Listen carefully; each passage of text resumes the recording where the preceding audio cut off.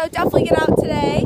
Um, and while you're out here, make sure you, make sure you stop in the shop. We have tons and tons of stuff. We got these awesome uh, men's sweatshirts and shorts are super comfortable. We got a bunch of new girls stuff.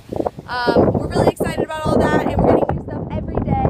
We just got a great swimmer line called Shoto, which is so cute and so comfortable. You have to check it out. Um, we have a great bathing suit sale still going on, and we're going to be having an even bigger sale for Black Friday. So make sure you stop in Black Friday um, and come see us for the holidays. We just finished decorating. We're super excited. I hope you guys have a great day, I hope to see you all